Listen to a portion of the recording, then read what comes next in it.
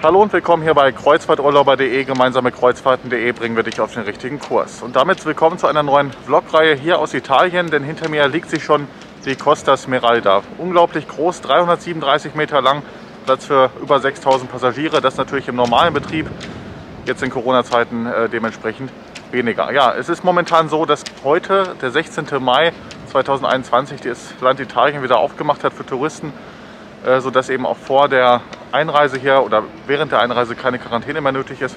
Und gerade heute bin ich jetzt auch hier, sodass es jetzt gleich an Bord geht für eine Woche entlang der schönen italienischen Häfen. Es geht nach Neapel, nach äh, Messina, nach Cagliari, La Spezia und Savona. Ich werde euch hin und wieder mitnehmen auf Landausflug und natürlich eben auch hier auf dieses ganz besondere Schiff. Es basiert ja auf dem Grundkonzept der Aida Nova. Es ähm, gibt also viele Gemeinsamkeiten hier an Bord, aber auch eben viele Unterschiede. Und das möchte ich mir gemeinsam mit euch anschauen und bin gespannt hier auf die nächste Woche an Bord der Costa Smeralda. Es ist jetzt eben erstmal so, dass man vor der, vom Check-in vier Stunden auf den PCR-Test warten muss. Denn äh, ja, Deutschland ist momentan auf der Risikoliste von Costa, sodass die Gäste, die aus Deutschland einreisen, erstmal einen PCR-Test machen müssen. Andere Gäste, also italienische Gäste zum Beispiel, äh, können eben mit einem Antigen-Test relativ schnell durch. Das dauert 15 bis 20 Minuten. Naja gut, immerhin kann man draußen warten hier und es ist ja auch gut, wenn die Sicherheit ordentlich geprüft wird, dass alle auch negativ getestet sind. Ähm, dennoch ist es natürlich jetzt erstmal so ein bisschen ungewohnt und etwas blöd, sage ich mal, dass man jetzt vier Stunden warten muss. Aber äh, ja, dient eben der Sicherheit und es ist aktuell so. Und man, muss, man wusste es auch vor der Buchung. Also es ist jetzt keine Überraschung. Äh, also man weiß eben, worauf man sich derzeit einlässt. Kabine 10024 ist dann jetzt die Kabine für die nächste Woche. Nach etwa vier Stunden Wartezeit jetzt beim PCR-Test geht es jetzt endlich an Bord. Ja, und der erste Eindruck hier von der Kabine schon mal richtig schick, also sehr modern und auf jeden Fall ganz anders, als man es von den älteren Costa-Schiffen kennt. Hier ist dann ein ähm, ja, Sofa, das auch zum Bett umfunktioniert werden kann, das Doppelbett. Gegenüber dann ein Fernseher mit einem schicken Bild hier aus Italien. Hier dann noch ein Schreibtisch, ja, also grundsätzlich natürlich, wie man es kennt. Wenn wir nochmal auf den Balkon schauen, da sind zwei Stühle, die jetzt auf den ersten Blick nicht allzu bequem wirken. Relativ ja, einfach sind Klappstühle, glaube ich. Kann man dann platzsparend zusammenklappen. Und äh, das macht aber einen sehr hochwertigen Eindruck hier. Und dann schauen wir noch mal kurz ins Bad. Übrigens mit Tageslichtfenster kann man auch zuziehen, wenn man möchte. Schauen wir noch mal rein. Oh ja, auch sehr schick mit interessantem Boden, aber einer tollen Gestaltung und auch erstaunlich groß, wie ich finde. Also hier ja, ist wirklich toll geworden. Nach einem ersten kleinen Snack, der natürlich italienisch ausfallen muss mit Tagliatelle Bolognese, hier mal ein Blick in das Kolosseum. Das ist ja hier so ein bisschen das Theatrium, wie man es jetzt von der Ida Nova zum Beispiel kennt. Also bei drei Decks ein 360-Grad-Theater, aber es ist nicht das einzige. Es gibt zusätzlich vorne auch noch eins. Das schauen wir uns dann die nächsten Tage nochmal an. Vom Design aber wirklich alles sehr, sehr schön, modern und schick gestaltet hier. So die ersten Eindrücke sind schon mal richtig gut. Nur möchte man ja an Bord von Costa Smeralda ja das italienische Feeling einer Kleinstadt vermitteln. Was darf da natürlich nicht fehlen? Ein Museum. Dementsprechend gibt es hier ein kleines, wobei so klein ist es gar nicht, ein italienisches Museum mit der italienischen Geschichte, einigen besonderen und typischen Kunstwerken und so weiter. Also äh, ja, sicherlich ganz interessant hier mal durchzulaufen. Nun sind auch schon die ersten Stunden an Bord vergangen. Ja, es ist ja ein riesiges Schiff, dementsprechend gibt es extrem viel zu entdecken. Ich habe jetzt erstmal die ersten Eindrücke auf mich wirken lassen und äh, muss wirklich sagen, dass es eben sehr schön ist. Zum Beispiel auch hier hinten Terrassa Superba. Das ist ja hier der Bereich, äh, wo man dann hinten auch draußen sitzen kann, unten auf dem Deck und dort oben zum Beispiel, wo haben wir ihn? Da ist dann der Skywalk, also wirklich äh, ja, wahnsinnige, wahnsinnige Dimensionen hier auf diesem Schiff. Und äh, es ist jetzt 19 Uhr, sodass es dann gleich auch schon zum ersten Abendessen geht. Also die äh, mit Sicherheitsübungen, Einweisung für deutsche Gäste. Es sind übrigens 20 deutsche Gäste an Bord und 1200 insgesamt äh, auf einem Schiff, wo sonst 6.500 maximal draufgehen. Es ist eben so, dass heute am 16. Mai die italienische Regierung dann ja auch die ähm, ja, Restriktionen für touristische Reisen hier ein bisschen gelockert haben. Äh, dementsprechend ist es ab heute auch erst eigentlich wieder möglich, richtig aus Deutschland einzureisen. Und äh, ja, dementsprechend ist es halt auch noch relativ leer hier hinter mir, äh, wie man sieht. Aber gut, ähm, ich bin gespannt aufs Abendessen. Ich habe eben schon mal geschaut, es ist ein sehr schöner Platz. Man hat ja hier auf der Bordkarte einen festen Tisch zugewiesen für die Reise, äh, wo man dann jeden Abend speisen kann. Tagsüber kann man dann die Plätze und Restaurants auch frei wählen, aber abends ist das eben schon vordefiniert, vorbestimmt.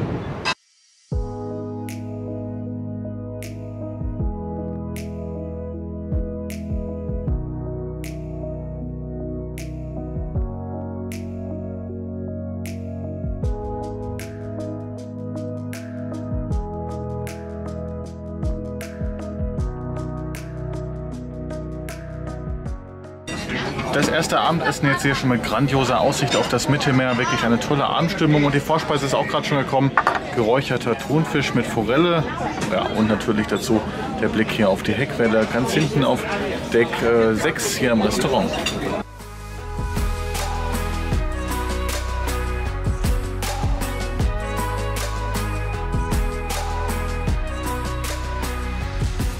Guten Morgen hier am ersten richtigen Tag auf der Costa Smeralda. Wir haben gerade in Neapel festgemacht. Ja, gestern Abend habe ich mich dann gar nicht mehr bei euch gemeldet. Es ist eben so, dass es auch ein relativ anstrengender Anreisetag war und äh, die ersten Eindrücke auf diesem großen Schiff natürlich erstmal wirken müssen. Und äh, trotzdem ein tolles erstes Abendessen gewesen, hat sehr gut geschmeckt, war äh, positiv überrascht, auch von dem Ausblick eben hin.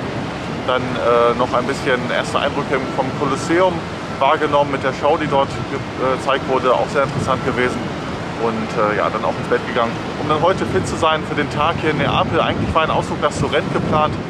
Die Mindestteilnehmerzahl dafür wurde leider nicht erreicht, sodass es jetzt in Anführungsstrichen nur ein Ausflug hier nach Neapel geworden ist. Ähm, ich bin gespannt, was dieser Ausflug zu bieten hat. Letztes Mal, als ich vor ein paar Monaten hier war, äh, habe ich einen Spaziergang gemacht durch die Stadt und heute ist es, glaube ich, ein Mix aus Spaziergang und Busfahrt. Also vielleicht noch mal ein paar neue Eindrücke mit dabei. Wir gehen gleich an Land. Vier Stunden geht der Ausflug, 30 Euro pro Person. Also durchaus ein fairer Preis, wie ich finde. Und äh, bin gespannt, was Neapel zu bieten hat. Und danach schauen wir uns natürlich weiter hier auf der Costa Smeralda um.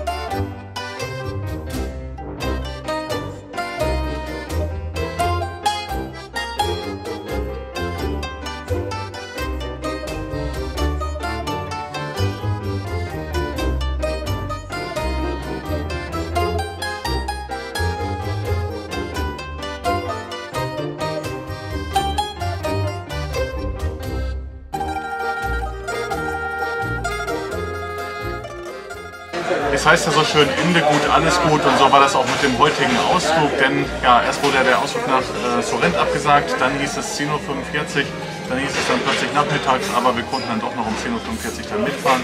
Auf den Ausflug durch Neapel war auch sehr schön, äh, muss man wirklich sagen, eine Rundumtour, einmal mit dem Bus. Erst über auf den Berg hinauf, dass man auch immer auf die andere Seite äh, des Golf von Neapel schauen konnte.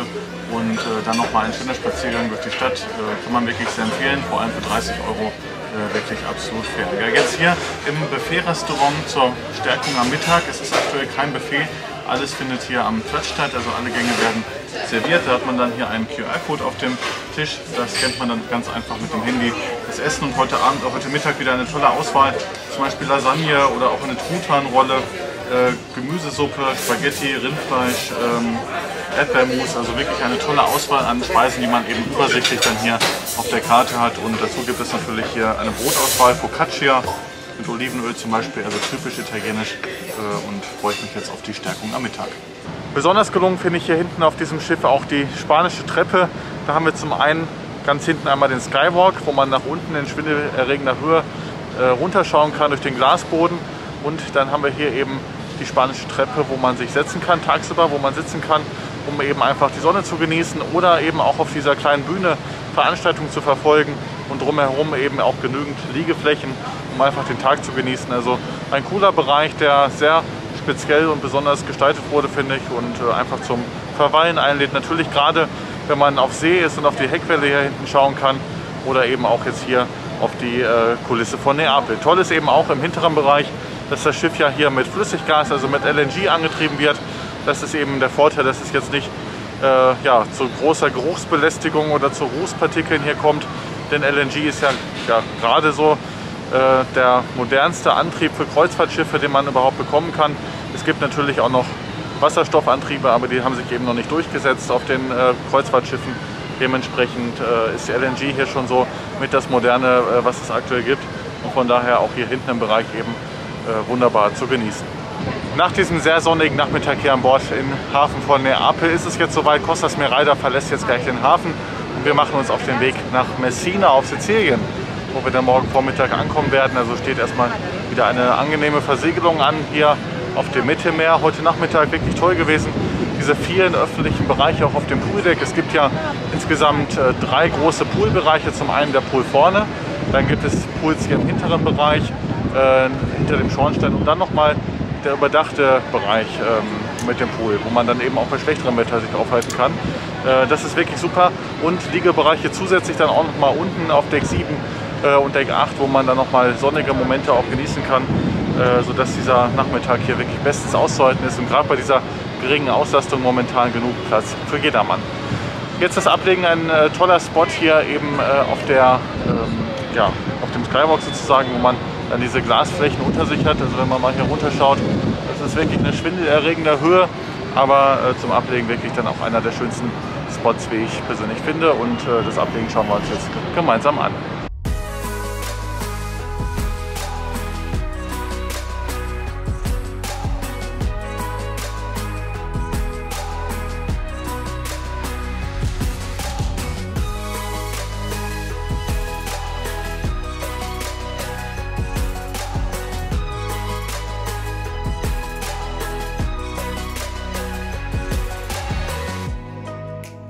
Ein toller Abschluss des Tages, der natürlich mit dem Abendessen begonnen hat. Wirklich sehr lecker gewesen. Vier Gänge gab es heute Abend. Das Highlight war definitiv das Rinderfilet von sehr guter Qualität gewesen. Der Service übrigens auch immer richtig toll und dazu dann der passende Sonnenuntergang. Also man kann es wirklich kulinarisch hier nur loben bisher an den ersten beiden Tagen. Ich bin gespannt, was noch folgt, zumal auch noch einige äh, besondere Spezialitätenrestaurants anstehen in den nächsten Tagen. Ähm, da werde ich euch natürlich dann auch wieder mitnehmen. Ja, und anschließend dann noch eine spannende Show im Kolosseum. Äh, auf jeden Fall sehr modern und futuristisch gewesen. Toller Einsatz der modernen Technik des LED-Screens und natürlich auch der ganzen äh, Umrundung der LEDs. Also es war äh, eine besondere Show mit einem ferngesteuerten Fahrzeug sogar, wo jemand drin saß, noch mit äh, dabei, der, das eben super in die Show integriert wurde absolut modern, aber vielleicht so ein bisschen anders, als es der typische deutsche Geschmack von den deutschen Kreuzfahrtschiffen gewöhnt ist, ähm, aber nicht weniger interessant. Also eben mal was anderes, so ein bisschen abwechslungsreich und von daher äh, durchaus auch sehr empfehlenswert, sich das mal anzuschauen. Gerade jetzt vorne im klassischen Theater, das es ja zusätzlich gibt, auch noch eine Show angeschaut. Ähm, das war jetzt eine Magier-Show äh, ist dann eben ein bisschen schwierig, wenn der dann auf Italienisch anfängt zu sprechen. Das kann man dann äh, nicht so verstehen, ganz klar. Aber Magie versteht man ja teilweise auch ohne Worte. Ja, das war ja heute ein toller Tag hier in Neapel. Wir sind jetzt auf dem Weg nach Messina, wo wir dann morgen ankommen werden. Und äh, da nehme ich euch mit auf Ausflug und auch nochmal mit auf einen halben Seetag hier an Bord des Schiffes. Der nächste Tag hier im Hafen von Messina beginnt dann mit einem schönen Frühstück. Es ist so, dass man hier die digitale Speisekarte wieder hat und dann hier verschiedene Kombinationen bestellen kann. Das geht dann von Mix 1 bis Mix 7. Das macht es dem Kellner dann auch so ein bisschen einfacher, die Bestellung direkt kurz zu erfassen. Da hat man dann zum Beispiel auch äh, gekochten Schinken, Medano-Salami, äh, Croissant, Räucherlachs, äh, alles schon äh, ja, vorbereitet sozusagen im Mix. Dann gibt es Brot, Obst, Marmeladen, Cerealien, Joghurt, warme Speisen, zum Beispiel auch Omelette oder Rühreier und äh, Getränke gibt es natürlich auch. Und das Tolle ist jetzt wirklich hier, ähm, dass es morgens, es ist jetzt halb neun, ähm, ja, sehr, sehr leer ist und man hier wirklich äh, entspannt frühstücken kann, ohne jetzt irgendein Infektionsrisiko zu haben. Ähm, also Abstand einhalten ist jetzt hier gar kein Problem gerade und das ist so eine Zeit, wo es eigentlich ja relativ voll sein sollte, denn die Ausflüge beginnen jetzt ja auch gleich. Nun gehört Messina ja zu einem der schönsten Häfen von der Kulisse her in Italien, wie ich finde. Zum einen hat man hier natürlich ein direkt schönes Stadtbild. Man liegt auch sehr zentrumsnah, sodass dann gleich auch ein Spaziergang durch die Stadt ansteht. Natürlich dann eben momentan auf geführte Art und Weise, also nicht auf eigene Faust. Und wir haben dann hier auf der anderen Seite des Schiffes eben auch die Straße von Messina direkt zu sehen. Also das Festland Italiens ist ja hier so nah an Sizilien dran, dass es eben eine Meerenge dazwischen äh, gibt, wo die Schiffe auch durchfahren. Heute Mittag gegen 14 Uhr verlassen wir dann auch den Hafen und werden diese dann auch passieren. Äh, gehört definitiv auch zu einer der schönen Passagen des Mittelmeers. Äh, Mittelmeers. Und äh, jetzt geht es gleich erstmal auf Ausflug. Zwei Stunden für 30 Euro pro Person durch Messina.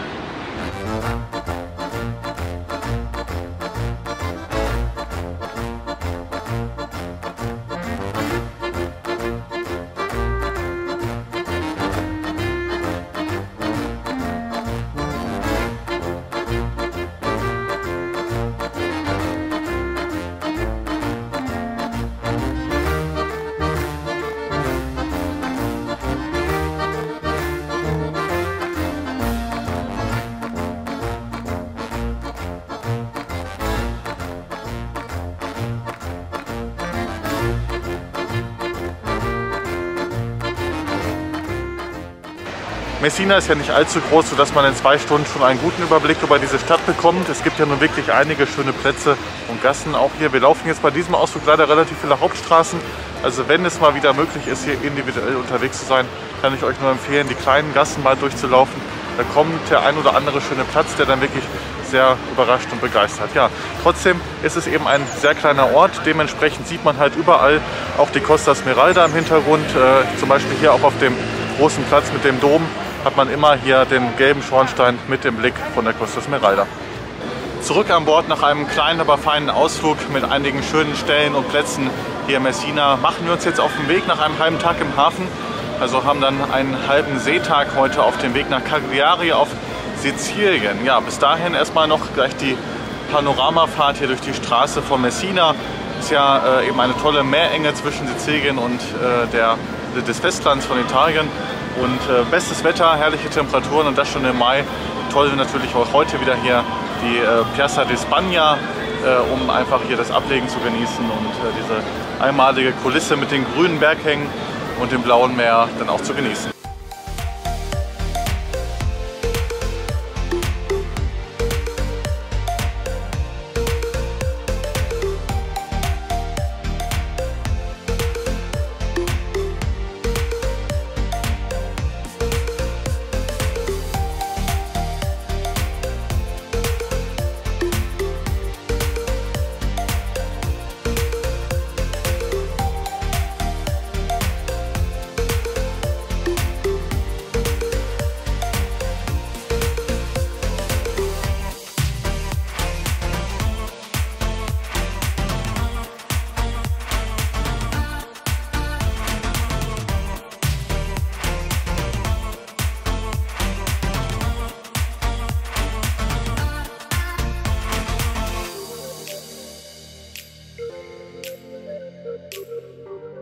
Hier an Bord gibt es einen 360 Grad Umlauf, sodass man hier unten auf dem Deck 7 und 8 einmal komplett herumlaufen kann. Dementsprechend auch bis ganz nach vorne hat man dann hier den Blick zur Brücke hoch.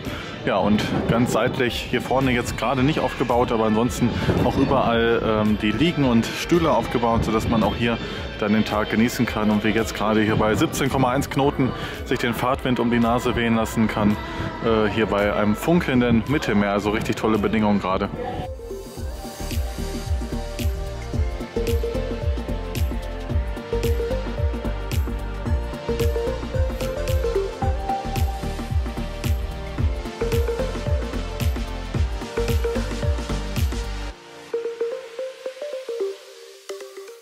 So ein halber Seetag bietet sich natürlich super an, um eben auch die Innenbereiche des Schiffes nochmal ausgiebig zu erkunden. Dazu gehört natürlich auch das Code-Museum, also das italienische Museum an Bord. Erstaunlich groß, also relativ viel Platz, dass das hier auch einnimmt und interessante Ausstellungsstücke, wie zum Beispiel natürlich eine Vespa hier, darf in Italien natürlich nicht fehlen. Heute Vormittag noch zahlreich in den Gassen von Messina gesehen und jetzt hier natürlich auch im italienischen Museum.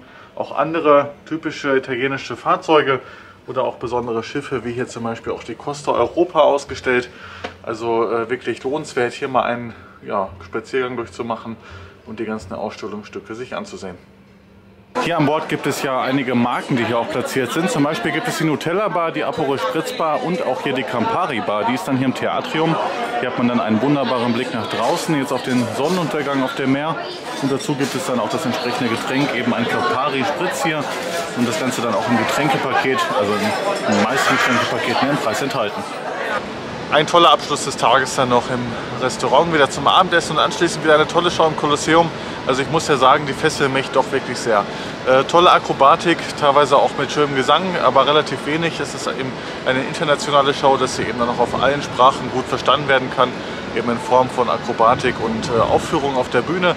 Das bietet sich, eben, äh, bietet sich auf dieser 360-Grad-Bühne natürlich ganz besonders an. Ja, jetzt kann man den Abend hier noch gut ausklingen lassen, zum Beispiel auf dem Pooldeck, eben auch an der spanischen Treppe oder in einer der vielen Bars hier an Bord, die natürlich einladen, um noch ein Getränk zu sich zu nehmen. Wir sehen uns dann morgen wieder auf dem Weg nach Cagliari, denn dort werden wir morgen erst um 12 Uhr ankommen und nochmal einen halben Seetag haben. Guten Morgen auf dem halben Seetag nach Cagliari auf Sardinien. Ja, wir werden dort am späten Vormittag anlegen, haben heute Vormittag dementsprechend genügend Zeit, um das großzügige Schiff zu genießen. Es gab auch einen äh, Antigen-Schnelltest, der schon durchgeführt wurde. Der wird einmal in der Mitte der Reise für alle Gäste verpflichtend durchgeführt.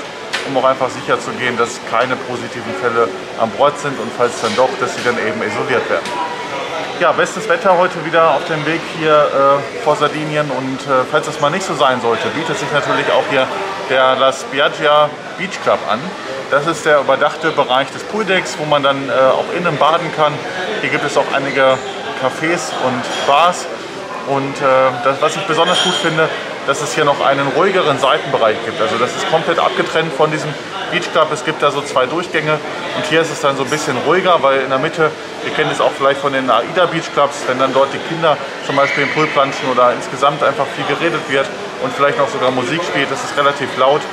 Und hier an der Seite ist es dann so ein bisschen angenehmer, sodass man sich dann auch hier bei schlechterem Wetter sehr gut entspannen kann. Ja, und ansonsten freue ich mich gleich auf das Anlegemanöver äh, von, äh, im Hafen von Cagliari und ansonsten einfach viel Möglichkeiten. Es gibt auch einiges an Entertainment-Programm heute Vormittag schon. Das findet halt meistens auf Italienisch oder manchmal dann auch auf Englisch statt. Ähm, da bin ich jetzt nicht so der Fan von, aber wenn man das möchte, gibt es natürlich ein umfangreiches Programm hier auch an Bord.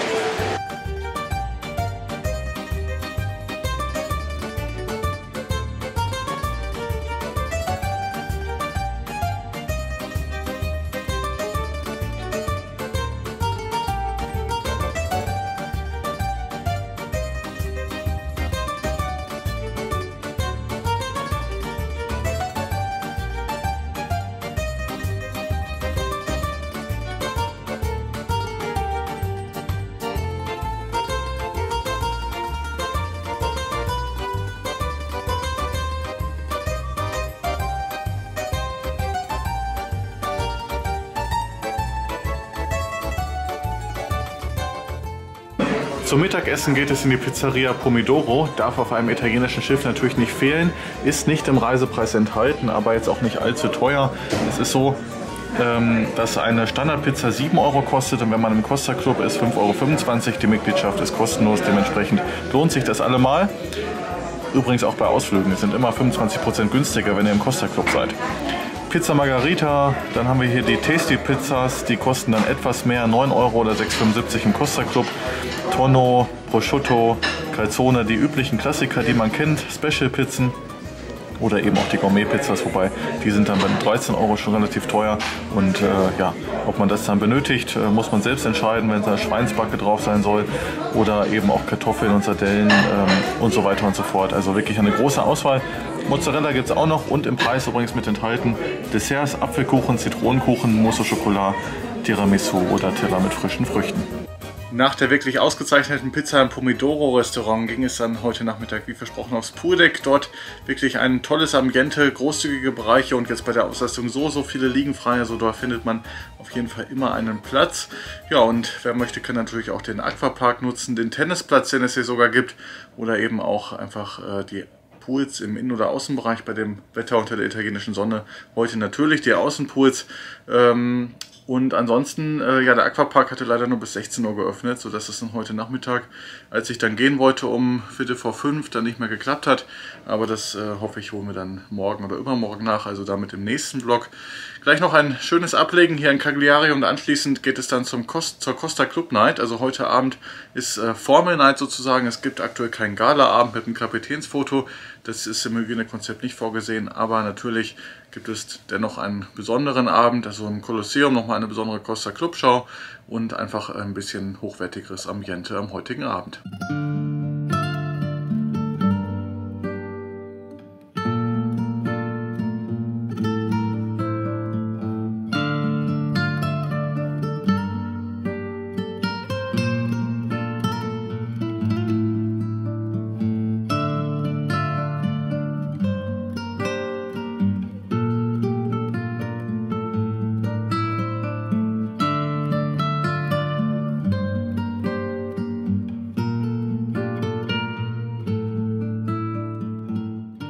Was ein schöner Abschluss des Tages. Heute die Formel Night hier an Bord der Costa Smeralda. Ganz besonderes Highlight war natürlich der Sonnenuntergang hier vor der Küste von Sardinien. Ja, ansonsten das Abendessen auch wieder sehr gut gewesen. Auch gerade im Vergleich zum direkten Konkurrenten MSC muss ich sagen, dass das Essen hier wirklich deutlich besser war von dem, was ich bisher erlebt habe. Äh, war ja vor einigen Wochen auf der MSC Grandiosa unterwegs und äh, im Vergleich ist das hier schon wirklich äh, sehr, sehr gut. Ja, ansonsten noch zwei tolle Shows gesehen, gerade einmal im Theater vorne und dann noch im Kolosseum. Gleich findet sogar noch eine dritte Show heute Abend äh, im Kolosseum statt, eine Rockshow. Also äh, wirklich unfassbar vielfältig das Ganze, äh, eben auch in zwei Locations, die hier angeboten werden. Äh, gerade die Show im Theater hat mir auch sehr gut gefallen, war sehr modern und cool angehaucht. Also kann man nicht anders äh, sagen. Ja, das war dann auch schon der erste Teil des Vlogs. Ich freue mich auf die zweite Folge mit euch. Äh, denn dann geht es von Civitavecchia aus nach La Spezia und Savona, wo auch noch mal ein Landausflug ansteht. Und ich werde euch die besonderen äh, Speisemöglichkeiten hier noch zeigen. Denn es geht ins Stepaniaki Restaurant, in The Lab Restaurant, wo man dann auch selbst kochen muss. Mal gucken, ob das dann am Ende so eine gute Idee war, dass ich das gebucht habe. Äh, ansonsten, äh, naja, hier gibt es ja noch andere Möglichkeiten, falls nicht, falls mein eigenes Essen mir dann nicht schmecken sollte. Dazu dann halt in der nächsten Folge mehr. Und ähm, ja, wenn euch das Ganze gefallen hat, schaut gerne mal unter reisen.kreuzfahrturlauber.de vorbei, denn dort könnt ihr eure nächste Traumreise buchen, hier an Bord der Costa Smeralda oder auch eben auf einem anderen Schiff. Vielen Dank dafür und dann sehen wir uns wieder in der zweiten Folge mit vielen weiteren Infos hier vom Bord. Bis bald, euer Kreuzfahrturlauber Fabian.